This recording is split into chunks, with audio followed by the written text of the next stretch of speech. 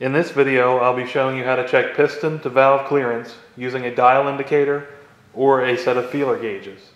You will need a degree wheel to check your piston to valve clearance using a dial indicator. So if you're unfamiliar with a degree wheel or how to set one up, I have a video that will help you. To do this test, you should use checking springs.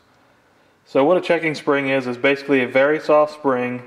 It's got enough tension that it will hold the valve closed, but very little tension so you can easily push on it. And you will need to press the valves down to do these tests. So here, all I did to find checking springs was go to a local hardware store. I found a spring like this. Uh, I think it was maybe a dollar. I just took my retainers with me, top part here, and matched the spring up to something that would work with the retainer.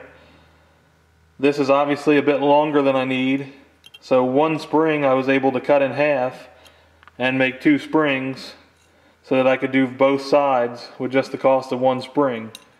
If you don't know how to replace valve springs, I have a few videos up that will show you different methods to do it. Now the engine is assembled with whatever base gasket I'm using in place, head gasket, cams installed, everything is just the way I would assemble it normally. One exception is that I like to set my valves to zero lash. So that means instead of having say two to three thousandths inches of play, as I normally would, or two to three thousandths inch valve lash, then I try to have zero lash, which essentially means there's no play between the rocker arm and the valve. You don't want it tight so that it's actually pushing on the valve, but just so there's no play. So I'll go ahead and set this one just to show you. So I'll loosen up my adjuster nut and I kind of wiggle the rocker arm to feel it. And I can feel there's just a tiny bit of play there. So I'll tighten the adjuster and wiggle it again. Still feel just a small small amount of play and I'll keep tightening that till there's no play but it's not pressing on the valve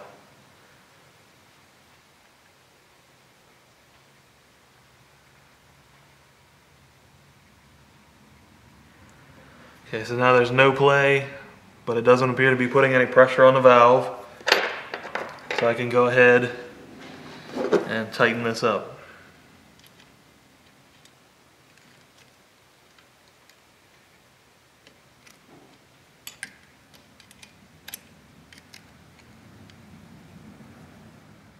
And you'll want to repeat that, do the same thing for the intake and the exhaust.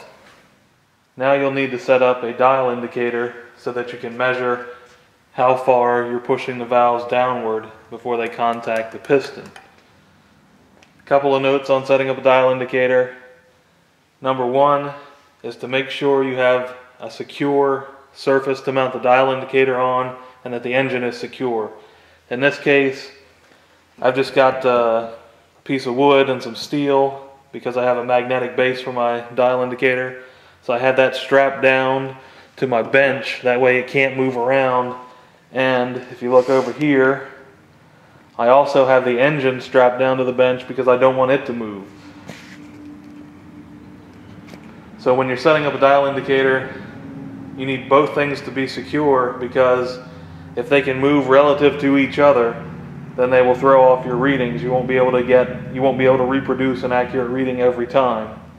The other option if you're not using a magnetic base and putting the dial indicator somewhere else, is to come up with some sort of bracket or maybe a plate that mounts to the engine that you could then either mount a magnetic base to or just mount the dial indicator directly to and position that onto the engine. That way they both move together if there is any movement. You should set up the dial indicator so that it makes contact with the valve spring retainer here on a flat surface and so that it can move up and down when the valve moves.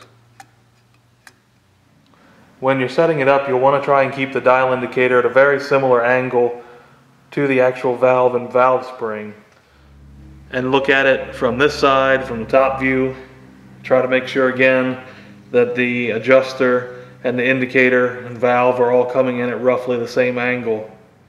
You also want to make sure that these aren't so close together that the indicator and the rocker arm or adjuster end up interfering with each other and hanging up. So go ahead and press that down via the rocker arm and make sure it moves freely without binding anywhere. So now you'll need to get in the ballpark and find the correct top dead center to work around. Since a four-stroke has two top dead centers for one revolution of the camshaft, because the camshaft moves at half crank speed, the piston will come to the top of the cylinder to top dead center twice before the camshaft is finished rotating once. So you need to find the correct top dead center. If you have just set your valve lash, you are on the incorrect top dead center if you've set your valve lash properly. Your valve lash setting should be done between the compression and power stroke at top dead center. And you need to be between the exhaust and intake strokes at top dead center. So that's 180 degrees away for the camshaft or 360 degrees away for the crankshaft. I'll show you a couple of quick ways to figure out which one you're on. Number one, your camshaft may have markings like this to show you which is the correct top dead center. So you'll see a hole or a marking at the top here, and then you have the lines and holes that run parallel to the top surface of the head. This is the wrong top dead center. So what you would need to do is rotate the engine around so the camshaft is 180 degrees the opposite direction. So I'll show you what I mean.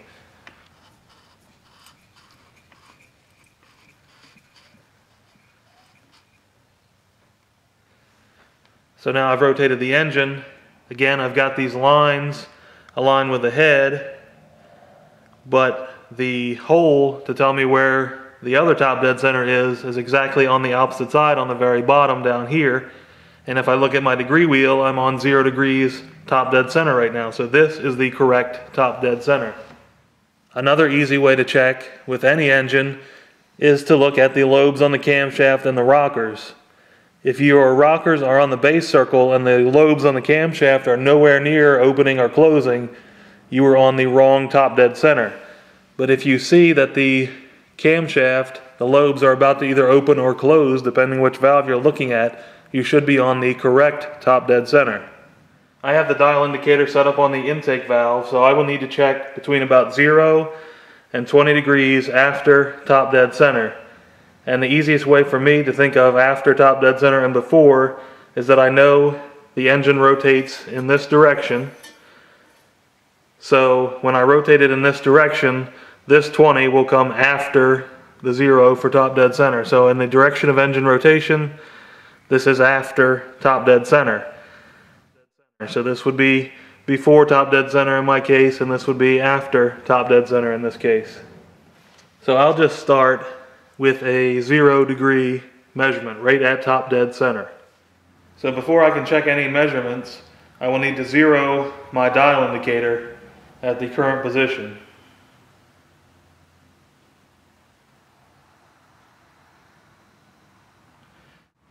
And it's a good idea to press on the valve just to make sure it actually returns to zero. Now I've double checked. My degree wheel is still right on zero degrees and my dial indicator is still zeroed. So what I'll do is I'll put pressure right on the tip of the adjuster here to push the rocker arm down and push the valve down.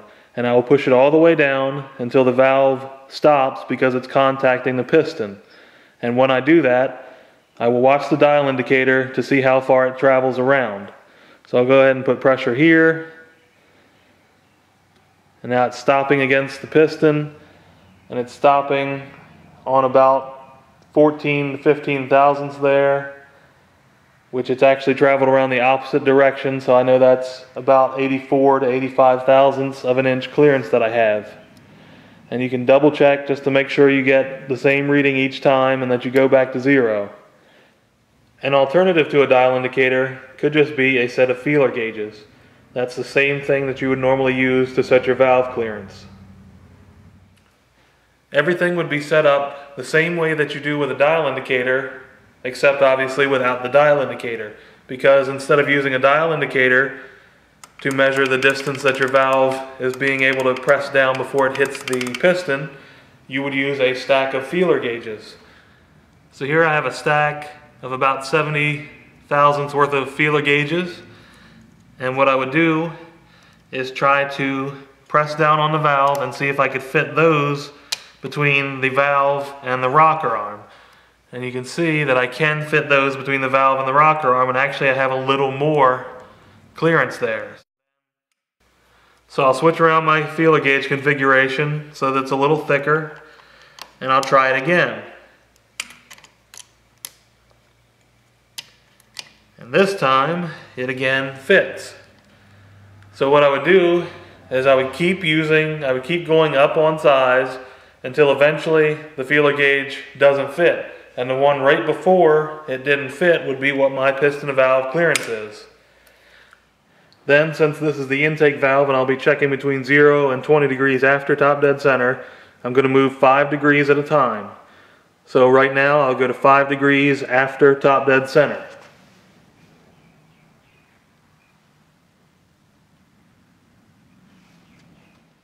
Because the valve is moving, you'll notice that your dial indicator is no longer zeroed. So each time you move the crankshaft, you rotate the crankshaft, you will need to re-zero your dial indicator. And again, I'll push down on my rocker arm here until the valve touches the piston and note the reading. And this time it has moved about 77 thousandths of an inch. And then you'll just want to repeat the exact same process, 5 degrees at a time. So you would again move to 10 degrees after top dead center for the intake valve, go back, Press the valve down, note the measurement on the dial indicator. Then you would move to 15 degrees after top dead center. Do the same thing, press down until you hit the piston with the valve, note the reading, and then move to 20 degrees after top dead center and continue the same process. So that's for the intake valve. Once you finish that, check over all the numbers you have recorded from 0 to 20 degrees for your intake valve.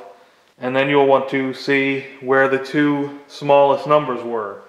So say you get 70 thousandths at 5 degrees and 75 thousandths at 10 degrees and the others are, you know, maybe 80 thousandths we'll say then you may wish to check degree by degree or halfway between 5 and 10 thousandths and see if you get a smaller number. That way you can find your minimum piston to valve clearance. After you finish the first valve, then you'll need to set up your dial indicator on the opposite valve. So I've done the intake. Now I've set up my dial indicator on my exhaust valve just the same way that I showed you for the intake valve. You want it on the spring retainer. Try to keep the angle similar and you want to make sure that the dial indicator has room to travel with the valve. For the exhaust valve, I'll be checking between 0 degrees, top dead center. Again, this is between the exhaust and the intake stroke. And between there and 20 degrees before top dead center. When you do these checks, it's a good idea to follow the direction of engine rotation. So rather than going from 0 to 20, I would start 20 before and move my way to zero because that's the way the engine rotates and that's following the profile of the cam just the way it normally would when the engine is in operation. So what you can do is either back up a bit before the 20 and then work your way back to 20 or you could rotate the engine all the way around until you're on the proper stroke again and start at the 20. After you've completed each check on both sides, you should know your minimum piston to valve clearances for both the intake and the exhaust valve. I'll just tell you very quickly that for these small engines, I would recommend 50 thousandths of an inch clearance on the intake and 80 thousandths of an inch clearance on the exhaust side, and those should be safe numbers. If you would like more detailed information about piston to valve clearance and how to change it, then I have another video that I'll link you to here. If this video helped you out or you learned something, please like it, favorite, subscribe for more, and thank you for watching.